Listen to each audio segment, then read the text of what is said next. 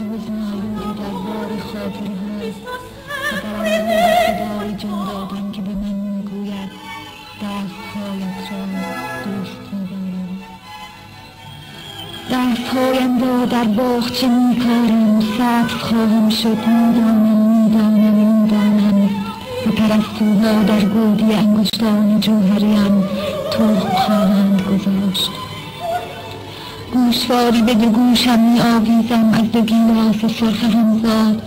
و به ناخونهایم برگ گل کوکب می چسبانم کوچه ای هست که در آنجا پسرانی که به من عاشق بودند هنوز با همان موهای در هم گردنهای باریک و پاهای لاغر به تبسمهای معصوم دخترکی می اندیشند که یک شب او را باد با خود برد. کوچه ای هست که قلب من آن را از مرزهای